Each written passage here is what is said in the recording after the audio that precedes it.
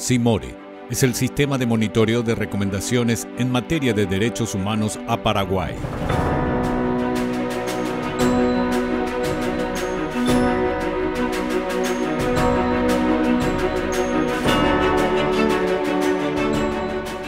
Ante todo, la red de derechos humanos representa un paso muy importante que la República del Paraguay ha dado ya hace unos años para poder coordinar las acciones, las medidas y todo su accionar en el ámbito de derechos humanos tanto a nivel nacional, regional e internacional.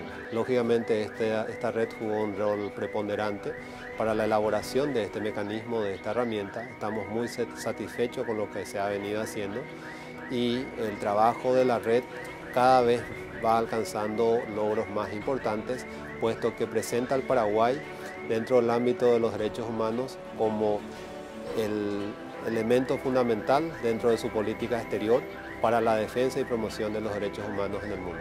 Un elemento de fundamental importancia para eh, que las instituciones involucradas en el seguimiento de las recomendaciones emanadas de los distintos organismos internacionales y tribunales internacionales puedan estar a disposición de, del público en general y de las autoridades involucradas en el cumplimiento de las mismas.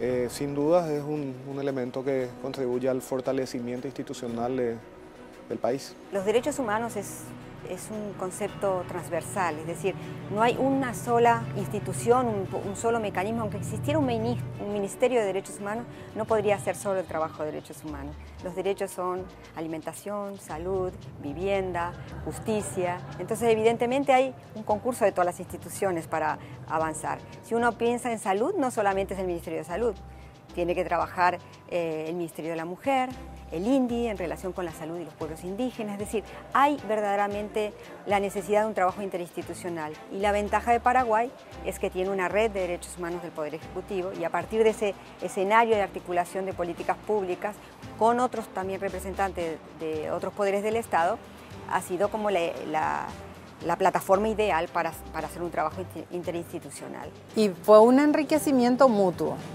En primer lugar, escuchar las experiencias de otras instituciones involucradas también a veces con la misma recomendación y casi en todos los casos la misma recomendación iba dirigida a, más de una institución.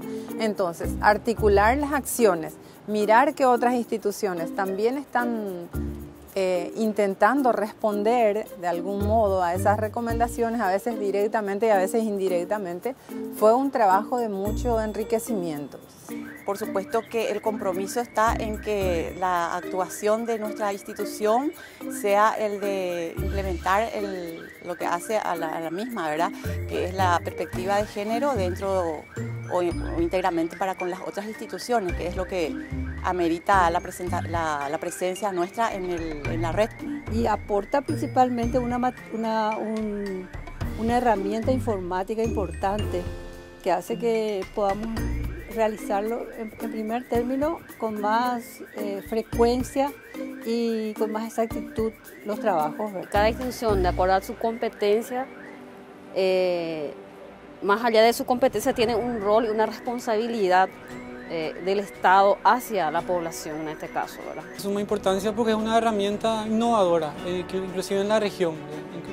Tengo entendido que en otros países de Latinoamérica tienen el buscador, pero Paraguay probablemente sea el primero que tiene, aparte del buscador, un seguimiento de las recomendaciones. La persona va a poder ver qué recomendaciones tiene el Paraguay y, verificar qué acciones de Estado se desarrollan en, en relación a la recomendación. Bueno, el Simori aporta una buena práctica aporta una, práctica pionera, realmente innovadora y un buen ejemplo que puede ser replicado como referencia fundamental para otros países. Entonces es una, una buena práctica por parte del Estado eh, con el acompañamiento de la cooperación internacional y la posibilidad de que como cooperantes podamos seguir apoyando de la misma manera a otros países.